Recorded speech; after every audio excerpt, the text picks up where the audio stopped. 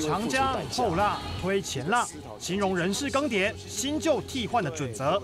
但在职棒场上，如果前浪油尽，谈让位还太早；后浪又个个生猛有力，年轻就是本钱。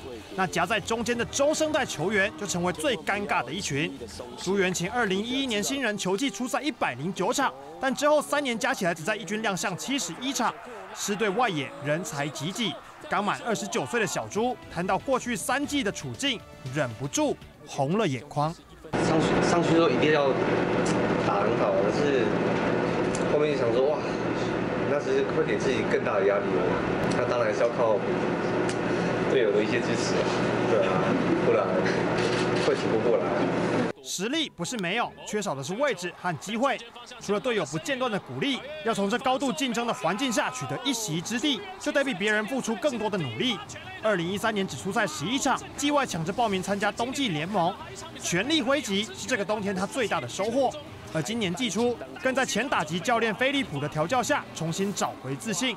如今不但重返一军，出赛五十四场，缴出两成七一打击率，甚至扛起中心棒次。但这么一来，小猪又得面对新的课题。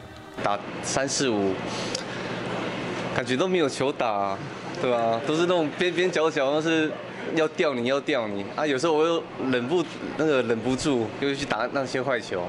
中心打线不好扛，期望下次别紧张。